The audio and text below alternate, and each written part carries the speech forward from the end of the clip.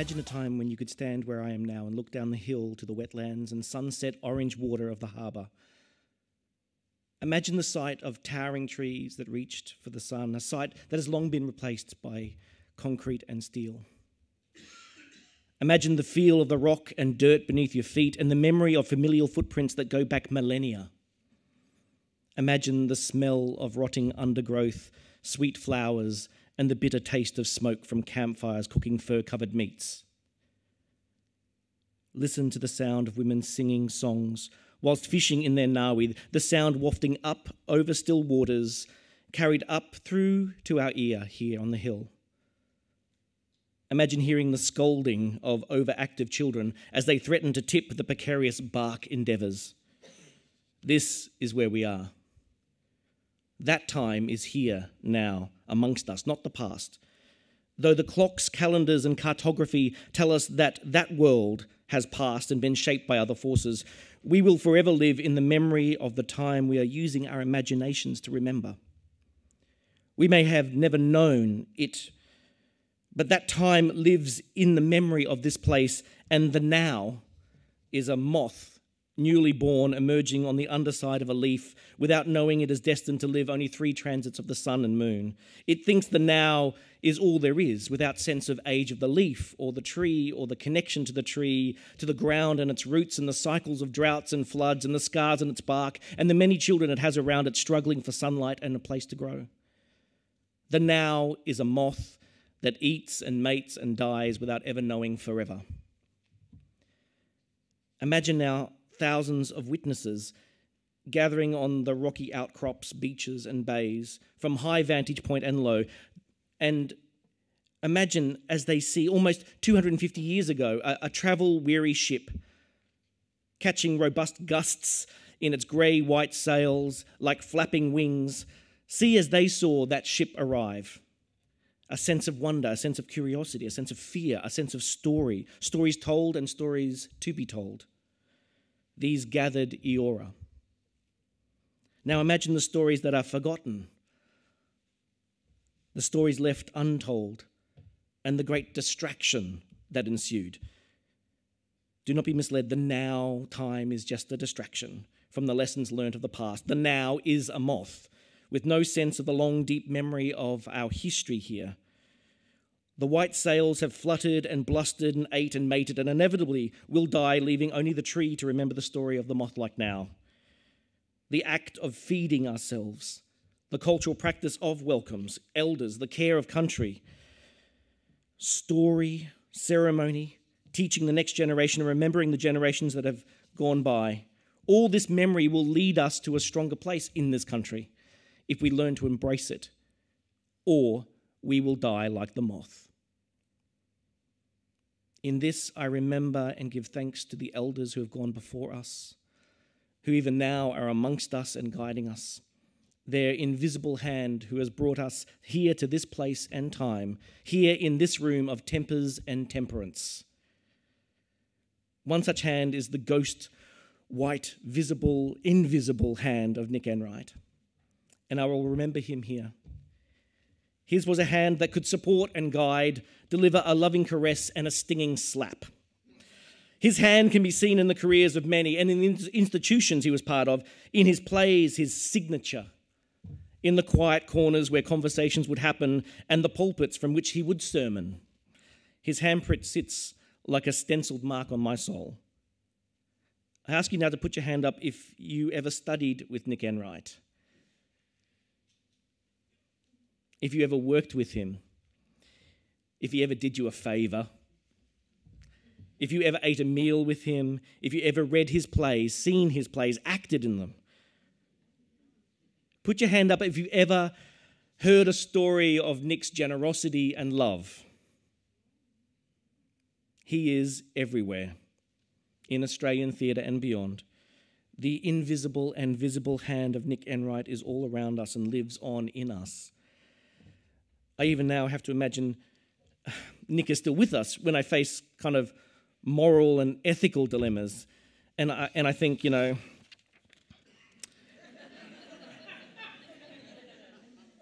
what would Nick do? And several times when there's been a play that needs a senior guiding hand, a playwright in search of a dramaturg, a student in need of a teacher, I, I have that thought.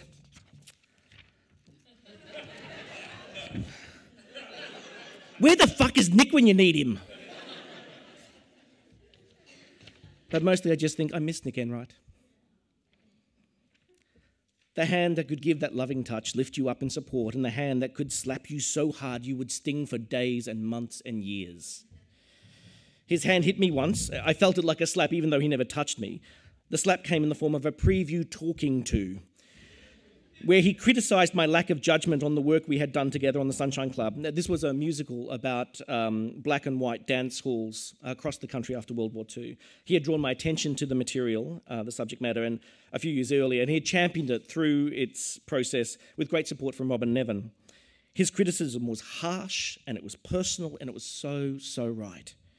He cut me. He slapped me away when I, when I demanded to be cared for and nurtured. He was tough and when I wanted him to be tender, I didn't talk to him for almost three years, so was my shame, not until he was really sick. He had pointed out my indulgence and refused to allow me to charm my way through uh, out of the situation um, by playing the, the race card or, or demanding a different standard because I was Aboriginal or, or my first ever musical or my premiere season at the Opera House. He gave me no room to wriggle out. I didn't know it at the time, but he was teaching me even then, like an old auntie's tough love. Never indulge in the self referential sentimentality of autobiographical justification.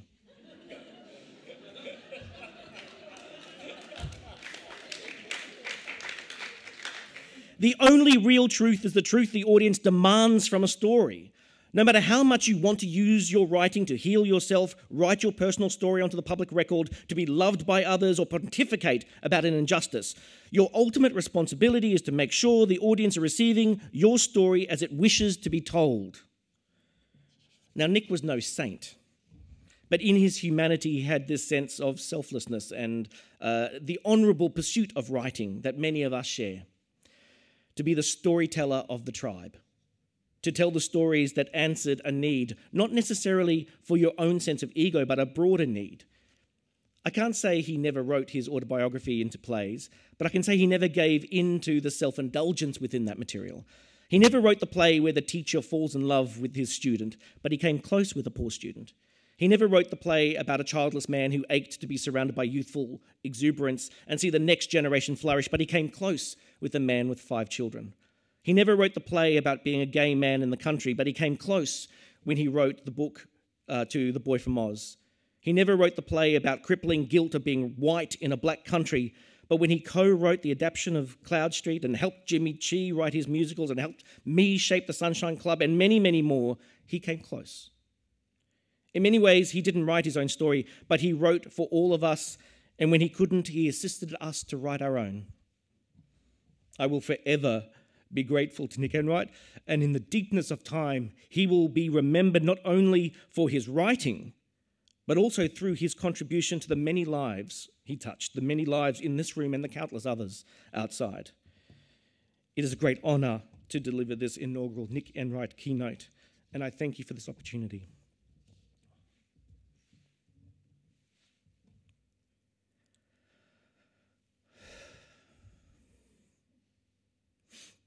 Can still smell the smoke. I believe storytellers play one of the most important roles in our society. They hold the history of the clan, the lessons learned. They provide a vocabulary for change. They can entertain, educate, agitate, celebrate. Storytellers excite a society, uniting them despite their differences by providing a single moment in time where you can feel part of something bigger. This is why the tribe hunts for us, gives us food, provides respite from the everyday pressures of survival, provides shelter, so that we can focus on telling their stories, refreshing the old and imagining the new. This is an unspoken contract with the society. We must be the best storytellers we can so that those story listeners can understand their world better. Growing up, my family and I would return to Stradbroke Island, to Minjerribah, across Quandamooka, uh, to attend different family gatherings, weddings, funerals, birthdays. And I have one memory of a wedding where Auntie Kath Walker, Oodgeroo Noonuccal, recited a poem for the gathering. Now, it's a poem. I can't find the exact line in a published writings, and I suspect it was written for the occasion, uh, for this relative's wedding, or, or maybe it's an early draft of a later work. I distinctly remember through the fog of time, the breeze coming through the bay and the sun shining, and her words, I am the tree, and the tree is me. She went on to ask the tree its history and memory of the world. In this one line, I caught the sense of connection and responsibility. Standing amongst my extended family on an island that had, been, had seen countless generations birthed and marry and die, a place where stories had laid dormant and resurfaced, remembered and reshaped. It was the 1970s. I know. I would have been perhaps about eight, and this line has stuck with me for over 40 years. The other distinct memory I have of that day was when Auntie Kath said the line, I am the tree and the tree is me, and another relative calling out from behind, she'd shit herself if she'd shit herself if the tree talked back to her, eh? and everyone laughed, and the moment was gone. Whatever point she was trying to make just evaporated, the, the transient laughter robbing that moment and taking me away from a time of thoughtfulness, perhaps. I have rewritten that line in my head over and over through the years. What if the call had been, What did the tree say back to you, Kath? If he had included her so she could have responded. If he had broken the mood with a comic interruption, yes, but not departed from the substance of the drama she'd been setting up. If he had not set up a sense that we, the congregation, were complicit in the rejection of the moment by addressing only us rather than also the speaker. It's weird how little things stick with you. Uh, I read this situation as apocryphal, the, the fate of a writer and the possible issues with audiences. Don't get too serious for too long, or you might lose your listener include their understanding of the moment for fear that they might take that moment away from you. Recently at APAM, Jacob Boehme gave a fantastic keynote address where he played out an all too familiar conversation between a fictional black artist and a white gatekeeper. The familiarity of the situation and the responses were breathtaking. I'll, this is Jacob's words. I would like to, oh, for those who don't know APAM, it's a market, the Australian Performing Arts Market. I would like to give just one example of how the conventions of this sector and of a market such as this could currently be interpreted from a First Nations perspective. Whitefella still has all the power, authority, and autonomy, uh, autonomy to di- dictate what trading and economic systems we operate under. Whitefella determines what excellence and quality is. Whitefella still manages and has curatorial control of performing arts venues blackfella could work in. Whitefella still programs black stories, either written or directed by whitefellas, and determines the black narratives that audiences engage in. Blackfella says, fuck me, if I'm going to make a living out of this, I better do that same kind of shit too. Blackfella gets busy making that kind of work that kind of narrative that intrigues, delights, traumatizes, tantalizes, and satisfies the curious mind about blackfellas' culture, identity, traditions, and modernity. Blackfella constantly talking about being a blackfella. Blackfella gets an opportunity to pitch their work. Whitefella says, not Aboriginal enough. Blackfella has another go. Whitefella says, Now, I want you to condense 70,000 years of ancestral lineage, of continuous culture and creative practice, of complex totemic skin and ceremonial systems complicated by 229 years of colonization, survival, government, and social policy that continues to actively oppress your peoples and sovereignty in, into a two minute elevator pitch and marketing blurb. but make it exciting and make it accessible. Like you, the audience were in stitches but backstage, I was listening and I was actually moved to tears. I, I, I couldn't see who was laughing, and it made me think in a weird, weird and wonderful way. How often has this been the truth? How long has it gone like this, unspoken? And why are they laughing? I, I couldn't see their faces and I was concerned. Who is this audience and their connection to what is being said? Why should this truth telling be read as humour? Why should we deliver it as humour? Why should we think that these words are entertainment? And is the message really getting through? When I talked to Jacob afterwards about this, he said it was the blackfellas laughing the loudest. He said, I, I totally understand your point, Wesley. Well, the point you're making, but my experience post speech was one of brother and sisterhood from our mobs and guilt and mea culpa from the words of non Indigenous mob who spoke to me and in the eyes of those who wouldn't. It was without doubt that Jacob had hit his mark. But these two stories still have clear lessons for me. Deliver your ideas too seriously and your message will be washed away. Deliver your message too flippantly and you and they will be washed away but have nothing to say, and you will be washed away. The pressure to fit a mold not always of your own making. It's a little bit Goldilocks, really. Not too much, not too little, just right. But these two stories remind me of why I wanted to be in the arts in the first place. I wanted to tell the stories that were not being told. I wanted to speak up and say the things that were hard to say. I wanted to call out injustice. I was attracted to the power of storytelling to change the hearts and minds of a congregation and through them the world. The artist tells stories to make sense of the world, to give an emotional vocabulary for the human condition in all its extremity, to help remember our collective history, to shine a light to expose creation. Idealistic? Maybe. But isn't the role of the young and the stubbornly progressive and the artist to be ambitiously idealistic? Alas, the young grow out of it, uh, they become more reasonable with age. The stubbornly progressive collapse under the weight of too, too much disappointment. But the artist must continue to have ambitions for their community, their society, their country. For why else do we exist if not to stay true and hold firm belief in our purpose and our power? To help shape the world as we would want it to be. Now, each of us here will have a story of that moment we felt that power, when the thrill of the voice excited us enough to motivate a lifelong vocation. This moment gives us strength and pure, clarifying thought. It is this moment we return to in our darkest times when confidence flees and the doubts pile up to block out the sun. Everyone feels like this at some point. I remember one such moment on the opening night of the Sunshine Club at the Opera House. I sat eating, eating jelly beans, catatonic with doubt, and felt abandoned to my own fears. The kind of fear that, that only others can help you escape, but equally stops you from reaching out for them. There is a balance between the need for professional confidence and professional doubt. Too much confidence can make you arrogant, too much doubt can cripple you. Artists need to negotiate with their demons and their cheerleaders and somehow never fully believe either. We have to believe we are making a difference in the world. No wonder we gravitate to like minded people who, who bolster our personal emotional resources, collaborators who agree with us, audiences who get what we, we are about, the good reviewers, not the bad ones. And I'll come back to this idea. It is our sense of purpose we must constantly return to as a guide. Why do we exist and why are we storytellers?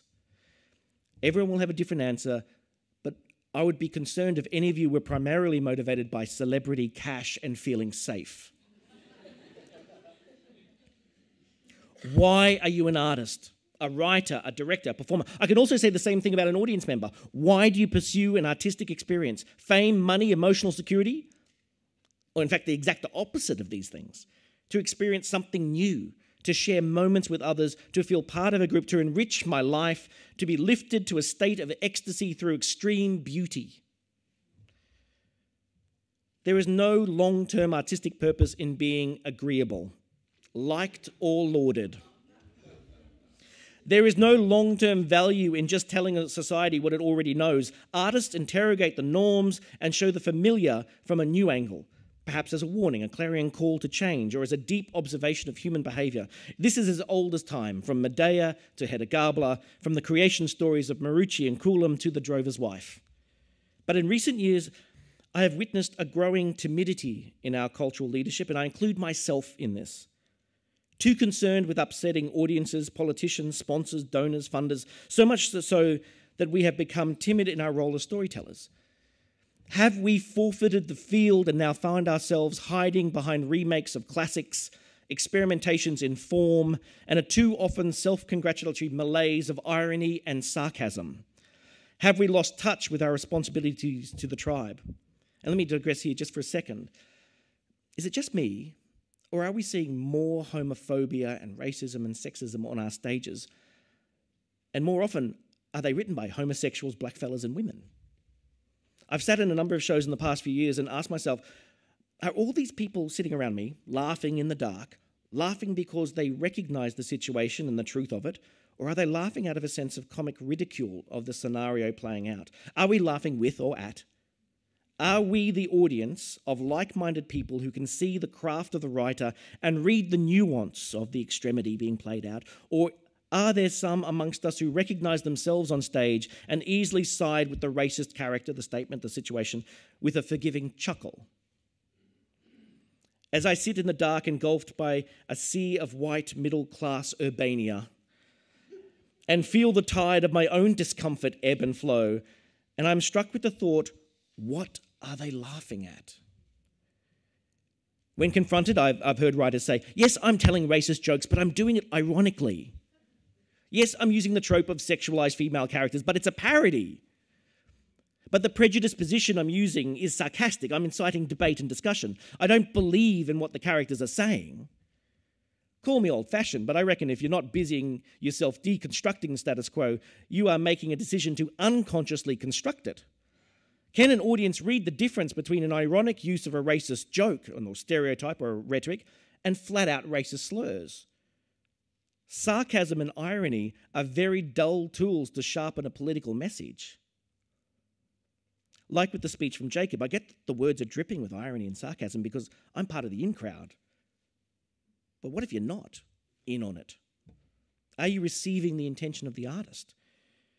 We can all name shows where we have laughed because we are part of that crowd who get it.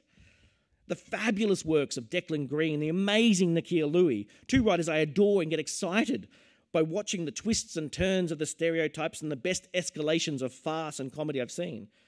But I'm left with this gnawing question what happens if the audience don't understand the history? If they have emerged from under the leaf and can only see what is in front of them and think this is the whole world? I can hear the defenses. We can't go at the pace of the slowest. We can't ignore the pre existing body of work. Audiences are smarter than that. We Trojan horse our messages inside the comedy. Or, or, or you have to give people what they want sometimes. I think there is a shrinking body of contemporary Australian work that is so bold as to express big ideas clearly through characters that are unambiguous about their thoughts on the world. We are seduced by the recrafting of a classic, the popular forms of comedy and music theatre, or of well worn paths, the acceptable and the legitimate. And God, I know it's not easy. I mean, you just have to talk to Patricia Cornelius or, or Stephen Sewell, and they'll attest to the difficulties of writing the powerful stories of importance that are of our country and then getting them in front of an artistic director, let alone in front of an audience. But I can't help thinking we are conveniently writing not for the whole tribe, but for the small number who already agree with us. Sometimes hiding little Easter eggs in, in our works as a kind of literary wink to our peers. And I wonder if we've become accustomed to subverting our messages and burying them deep in things that make them acceptable, tame, and palatable and along the way shaping the taste of the audience to the point that they have become less interested in the artist's voice, lost the stomach for risk. And so it becomes a self serving cycle. We modulate our work to not offend the audience, and the audience becomes less skilled at dealing with big ideas. So we, we, we further bury our voice, and so on and so on. And those who are seeking the voice of the artist, the audience out there who want us to help explain their world, the audience who crave big ideas to shape new thoughts, explore the edge of human experience, are left disappointed perhaps. This is a time to be brave before it's too late. Where are the plays about treaty and sovereignty in Australia? Where are the new voices talking about feminism and inequality? Where is the artistic work that will support the Me Too and the Time's Up actions, climate change, Manus Island, the greater class divides growing in our country, the intergenerational burdens? We all know of artists creating this work with heart and nuance and the rare examples of where they have found their way to the stage. And maybe we are caught in a cyclical trap of fashion where we merely tire of the companies and the artists and the works who, who strike out to make a difference. We fund them and defund them and support them and drop them as we follow the next wunderkind and international trend and cause celeb. Like the politics of our era, we are scared to express our values through our work. We don't talk about our core beliefs or the, the national cultural project we're involved in. We get caught in the economic justifications for supporting artists and avoid discussions about intrinsic value and the millennia old role of the storyteller. We let that deep history sit in the background somewhere and allow people to forget the importance of art. We have vacated that territory we inherited, and we are to blame. We are complicit through our self censorship, as well as the censorship of others. The growing disrespect of story and storytellers is because we are not mounting the winning arguments. I can hear it, I can hear it. I, I think I've even said this at times. It won't sell, no one wants to hear that story. You need to build your audience up first before you slap them down. Isn't that a little old fashioned? Do you, you don't want to be known as that writer. Politics is a background, not a foreground in a good play. We have been commissioned in ways to shrink ourselves and in many ways shrink the cultural voice of our nation. We have abandoned bravery in favour of bankability. We have accepted commercial precedent and formula rather than succeed in our responsibilities to the tribe. Now, don't get me wrong, I'm not anti popular. I'm not suggesting we should perform alone, you know, in a room and expect the tribe to support us. Quite the opposite. We must be fiercely, we must fiercely pursue the popular, the vox populi, vox dei, but we must embrace the discomfort of a forward thinking vision for a future rather than the comfort of an imagined nostalgia where the world was easier. And I can tell you now, the world is much easier for me and my family than it was 50 years ago. And I doubt that my family would have been part of any nostalgia. At the extremes, I think sometimes producers look to the comfort of precedent, the reliability of what has gone before, what has worked, the power of recognition for an audience. It is more known, it's predictable, more calming. Producers will give importance to the managing of risk, sometimes minimizing risk. Oh, some would even like to totally, you know, remove risk. And this means looking to the past, analyzing data, and finding a formula to predict the future. But an artist lets history sit in our creative landscape and we stare out to a horizon. A good artist is connected to their community in constant dialogue and through their work speaks an osmotic truth. Artists and creative thinkers are spending their time imagining new futures, new ways of being, new inventions, and as in, as in industry, the ability to explore and fail is so powerful, and more often than not, antithetical to market forces. In fact, market forces can often create stagnation in creative arenas. And that is why research and development departments exist in these large companies, multinationals. Like Google spent close to $10 billion in research and development in 2014, almost 15% of its revenue. Tesla, Apple, Boeing all realized that market competitiveness means that they have to invest in the R&D. Artists are the research and development department of a society. We are attracted to the most dramatic and energetic situations in a community, and we seek to expose it, explore it. We go where no mere mortal dare go, is too scared to go. We live the contradiction of being outsiders and deeply embedded in our community, and we play a national role to give voice to the silent, provide visions of a future, help create vocabularies for change, and to use our time on this planet making it a better place. We play a role that comes with this responsibility, but are we playing that role adequately? I see artistic directors as the unelected representatives of a cultural parliament, and as such, they have many constituents they are indebted to, but they are artists. And their role is to champion the artistic pursuits of an organisation, represent the conversations of artists in the community, but I am increasingly worried that these roles are being diluted and artistic directors are being pressured to abandon the brave in favour of these kind of commercial yardsticks. I know it's a balancing act, but the weight of safety cannot be allowed to crush the natural artistic need to risk it all. As a sidebar, um, I'm interested in the role of, of collaborations and dramaturgy in supporting new work. Like Jacob, I'm keen, keen to see um, strong Indigenous voices that reflect cultural and artistic authority. Artistic directors are making choices to change the status quo or not, and are empowered to do so or not. On two occasions in the past five years, I've, uh, I've heard from literary managers of large companies taking credit for dragging the play out of a First Nations writer, shaping it into the success it had become. I found this, bit, uh, this attitude a bit patronising, and it raises questions about how works are shaped by the collaborators you allow in.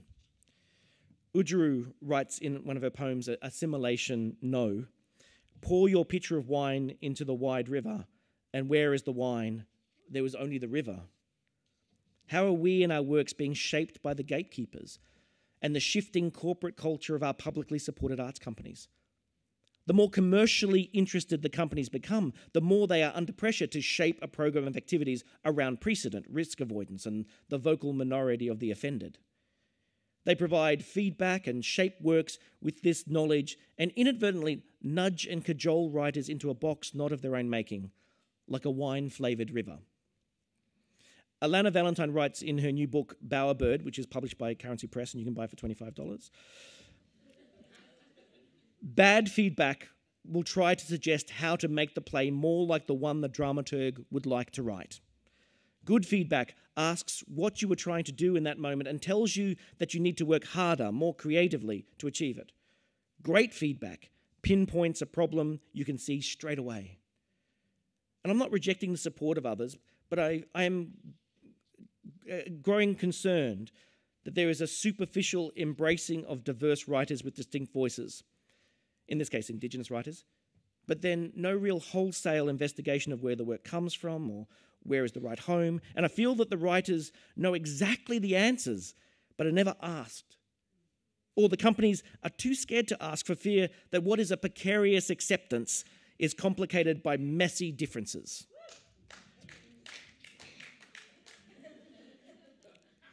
and the writers are caught in a complicity of gratitude.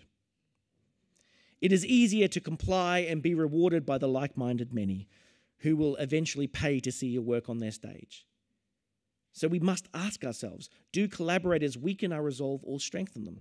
And how are we in charge of that? I wrote this little thing here and I think it's shit.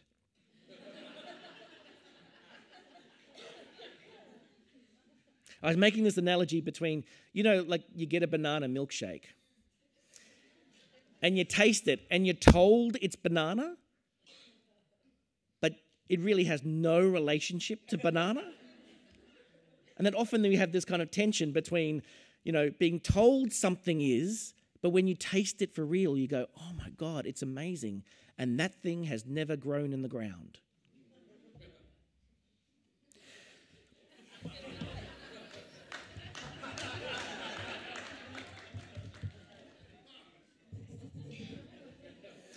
Nick Enright said, never turn up without a sharpened pencil.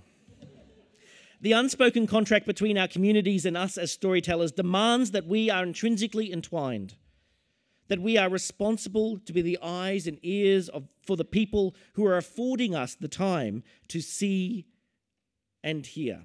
Oh, yes. and for us to think and speak.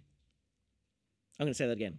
The unspoken contract between our communities and us as storytellers demands that we are intrinsically intertwined, that we are responsible to be the eyes and ears for the people who are affording us the time to see and hear and to think and speak, to be a popular voice for the nation that we are shaping and which shapes us, to pursue the hard to do more than the easy to say, to not be reduced to our politics but be emboldened by them to find the form in the content of the story and encourage deeper understandings, to avoid the indulgences and self congratulations of the coterie of the like minded, whilst protecting our honourable and history laden vocation to be the storyteller of the tribe.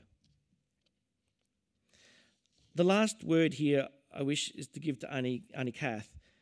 And it's interesting, it's been 15 years since Nick Enright passed away, and it's been 25 years this year since Aunty Kath uh, Noonuccal passed away. And like all storytellers, everything is filtered through a prism of what makes a good story, what makes the memory stick.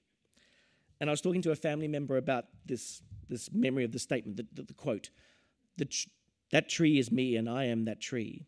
And they pointed me to a poem simply called, well, question mark. And sometimes you realize that you're standing on the shoulders of giants, or in my case, I'm sitting in the bough of a tree that has been growing for over 1,000 generations, with a view out to the horizon and an imagination that stretches back to a time before time. So my 40 year old memory may have chosen to recast her words to my own purpose, perhaps. And maybe I've written it and rewritten it, a phrase to make it almost a personal mantra. But here is her poem. Hello, tree. Talk to me. I'm, I'm sick and lonely. Are you old? Trunk so cold, what secrets do you hold? Talk, tree. Can't you see my troubles trouble me? Silent tree. Let me see your answers answer me. Tree, you dare question me? You how dare you dare question me? And at this point, you say, and she would shit herself if the tree talked back. Thank you very much.